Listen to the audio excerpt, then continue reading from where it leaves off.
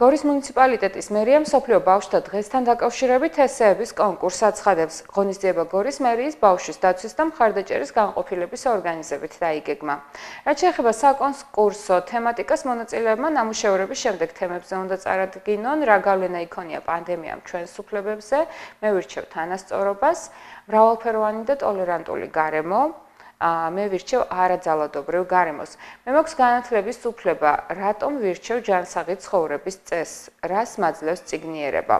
კონკურსში მონაწილეობას მიიღებენ გორის მუნიციპალიტეტის საჯარო და კერძო სკოლების საბაზო საშუალო საფეხურის მე-7 მე-12 კლასების მოსწავლეები, როგორც გორის მერის ბავშვის დაცვის და მხარდაჭერის განყოფილებაში აცხადებენ, ესე უნდა შესრულდეს ქართულ ენაზე და მისი მოცულობა არ უნდა აღემატებოდეს 1000 სიტყვას.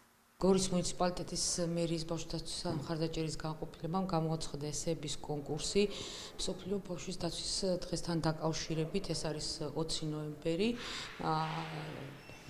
რამოდენიმე თემატიკაზე მონაწილეობას მიიღებს გორის საჯარო და კერძო სკოლები საშუალო და საბაზისო განათლების მოსწავლეები შეზღუდული არ არის რაოდენობა, შეუძლია ყველამ მიიღოს მონაწილეობა და მოუწოდებ რომ იაქტიურონ.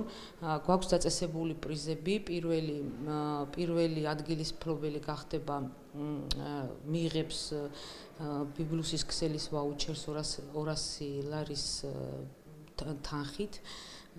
მეორე ადგილი იქნება 150 ლარის ვაუჩერი და მესამე ადგილი იქნება 100 ლარის ვაუჩერი. გარდა ამისა, შერჩეული იქნება 10 საუკეთესო ესე, რომელიც განთავსდება ბროშურა და გამოიცემა მერის მიერ ბროშურაში.